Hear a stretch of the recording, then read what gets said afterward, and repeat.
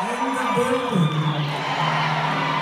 A lot of you know that I can come out here and kick my shoes off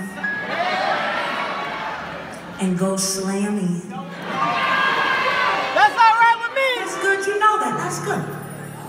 But tonight, I am stepping outside the box and I'm doing something people said I could never do. All right. Tonight, I bring you vocals.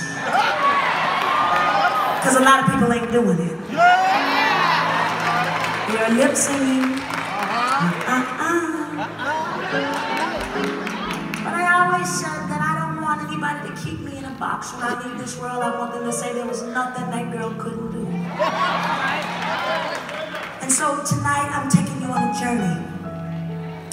We're gonna go back to the 1960s. When the men used to wear wingtip shoes and pinstripe suits. And the women, they wore nice gowns and fur coats. Back when jazz and blues, and they had nothing but cotton coats. I'm gonna take you back into my living room when my mother used to tell me good stories around the holidays.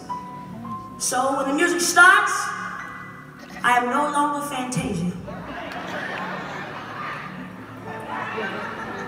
I am Mrs. Taylor.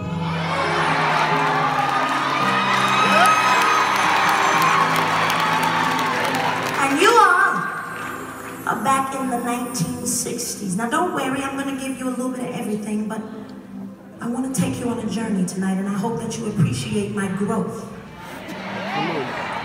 And I hope that you can go with me. A lot of times people won't stay in the past, but we're going to go somewhere else, okay?